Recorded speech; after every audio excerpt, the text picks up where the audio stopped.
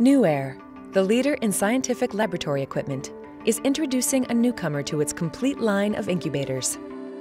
The state-of-the-art Nuaire In Vitro Cell Laboratory CO2 Incubator, available in direct heat or water-jacketed models.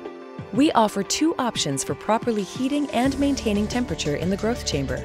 Direct heating elements offer a quick return to the set temperature after the door is opened, while water jacket heaters offer a slightly better temperature consistency. Slight positive pressure within the chamber eliminates contaminated laboratory air from entering the growth chamber. Chamber air and gas pass through 99.99% HEPA filters before entering the chamber. Optional CuVerro antimicrobial copper surfaces kill more than 99.9% of bacteria within two hours.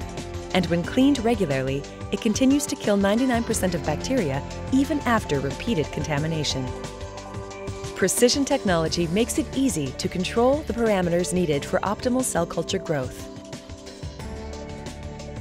Accurately control the level of CO2 in the growth chamber with our industry-leading single-source dual-wave infrared sensor.